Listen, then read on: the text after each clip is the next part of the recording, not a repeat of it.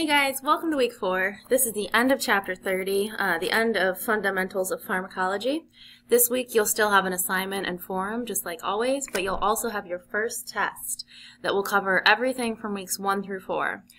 So, assignment, as always, just submit on Moodle, forum, 250 word minimum response, and then also two responses to your classmates um, of at least 100 words each. If you have any questions, email me earlier rather than later.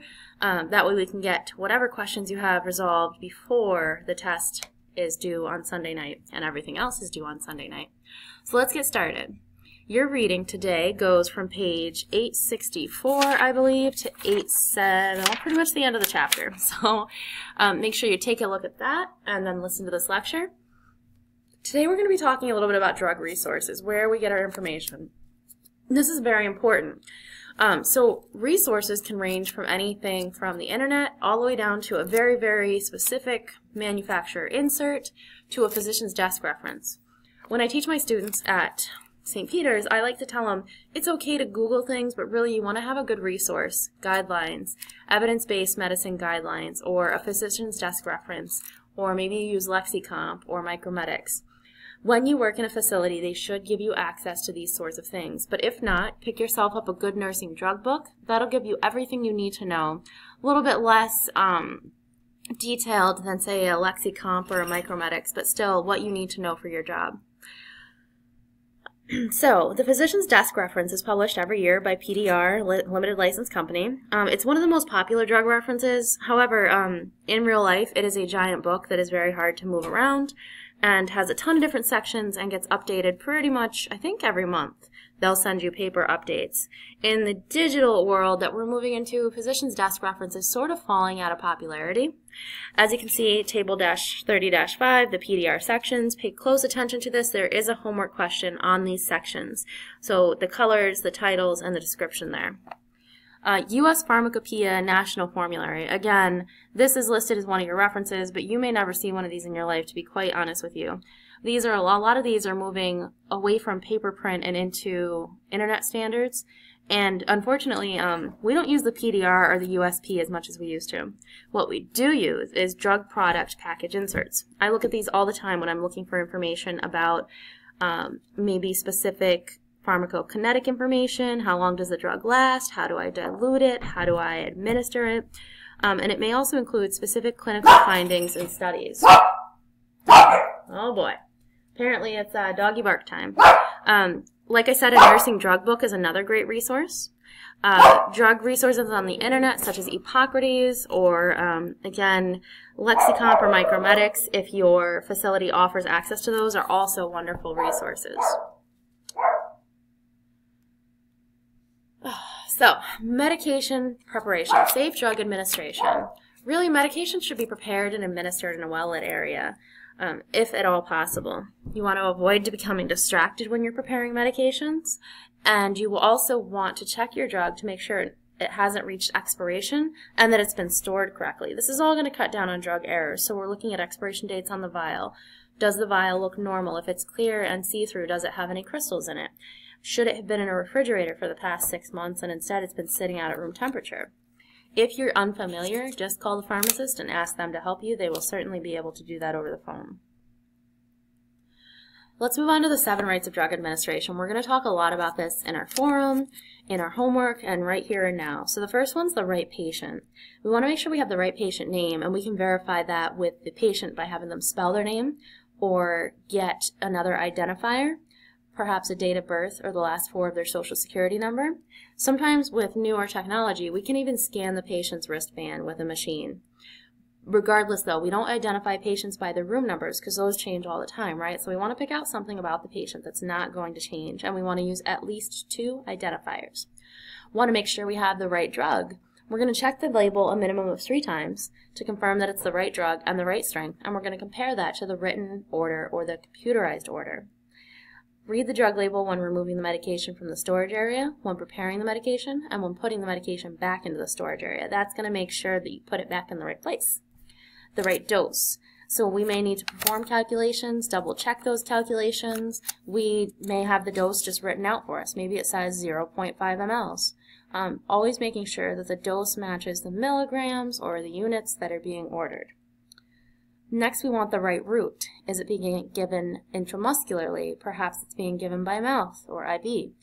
Always make sure you're giving the right route and that you have the right medication that is allowed to be given by that route. A lot of oral syrups cannot be given IV, and vice versa. Sometimes you can't give IV medications PO, so make sure you have the right route. The right time. Um, usually not a factor in ambulatory health centers. However, um, if you're in a hospital, you may find that certain medications need to be administered at night, certain meds in the morning. Sometimes they have to be spaced.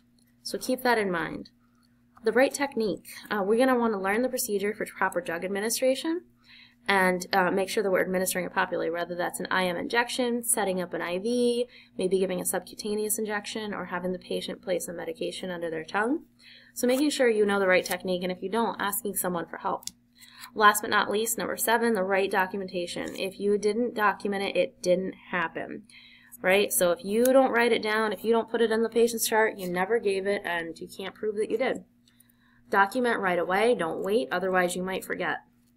So most HR programs include templates that can be used for drug information, and that might include expiration dates, how you gave the medication, what route, um, what time, etc. And that keeps track of all of that for you, which is awesome. So we usually wait 20 to 30 minutes following drug administration. If the patient's going to have a reaction, it's going to happen in that time. Safety and continuity in medication administration. So we're going to PAD, prepare, administer, and document. This is a homework question, pay close attention. Chain of events performed by only one person during medication administration. And there's that adage, if you didn't document it, you didn't do it. So we're going to prepare our medication. in Wellet area, we're going to administer following the seven rights, and then we're going to document the heck out of this medication. So common reasons that um, medication errors happen. Not reading the label carefully. Confusing a drug with another drug that is spelled. This is called look-alike, sound-alike. Not calculating a dosage correctly. But we're going to fix that in week 5 and 6. You guys are going to know how to calculate doses or trying to multitask while preparing a medication. You should always focus on the task at hand and nothing else, right? Um, we could give a thousand reasons, reasons that medication errors happen. Just when you think you've got it figured out and you think you're no longer vulnerable to medication errors, you'll find another hole in the the whole preparation part where you're like, oh my gosh, I just made an error and I didn't even know it was possible to make an error there. So always be vigilant for vulnerabilities. If a medication error occurs, own up to it. You own that, you stop right there, you admit to what you've done, remain calm, notify the physician right away, assess the patient for any reaction. We're going to take vital signs and look for signs of distress. And you're also, after you speak to the physician, if they tell you to, you're going to want to speak with the patient and let them know what's happened. Again, they might be angry, they might not even care, but regardless, they need to know what's happened to them as well. You're going to document again in the patient's chart. If you didn't document it, it happens still and somebody knows about it, but you could get in trouble. And if your facility has a procedure for documenting errors, you're going to want to document there as well. I just want to say a word about medication errors. At some point you will make one.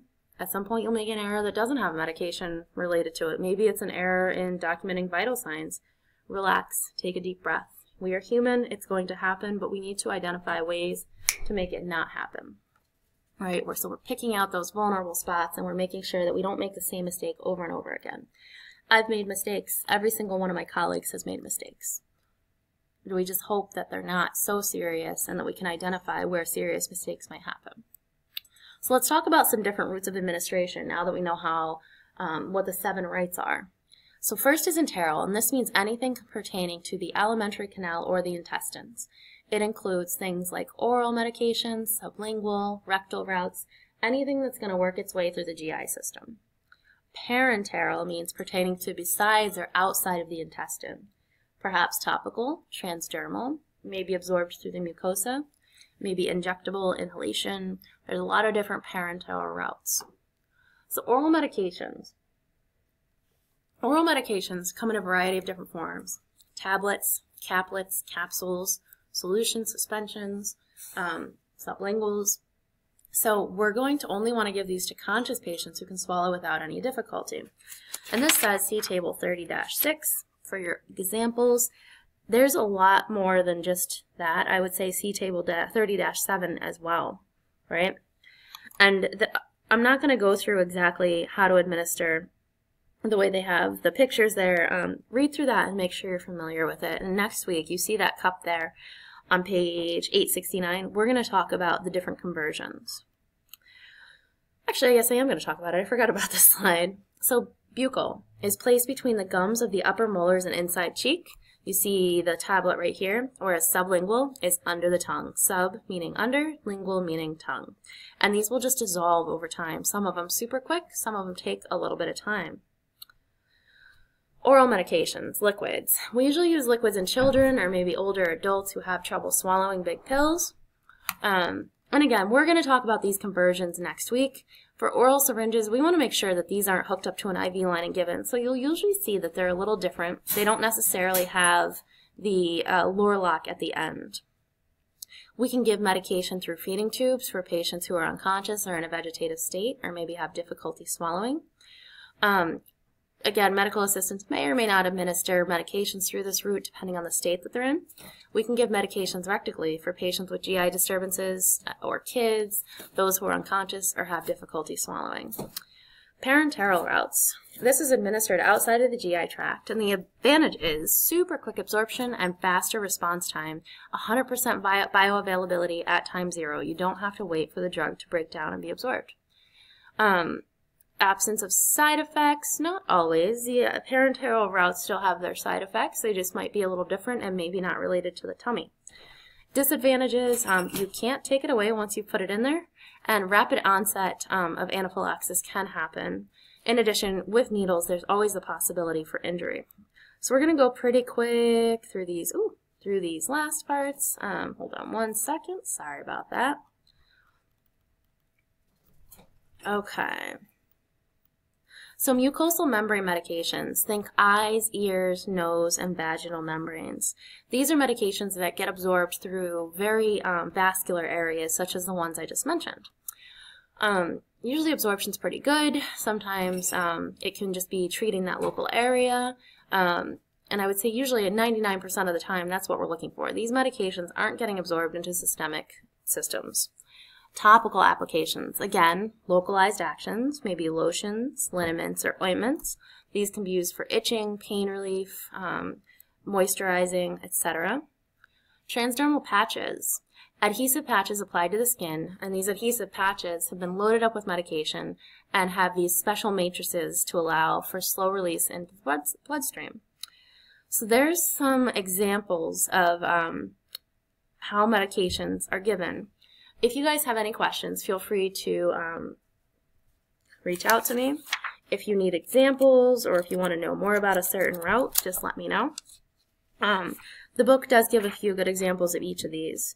So, again, homework assignment, forum, one original response, two classmate responses, and a test all due this Sunday by midnight. I hope you guys have a great week. Um, next week we move on to math. Don't be nervous, you're going to do great, and I'll see you there.